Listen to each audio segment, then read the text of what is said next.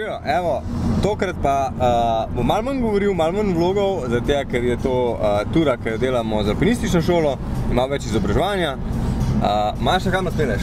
Moj strano, Moj strano. Kam pa gremo, kam pa gremo delati? ljudi, plizat led.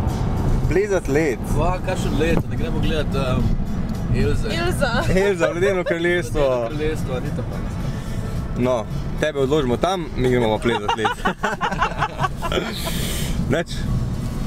Па да видиме колку борател.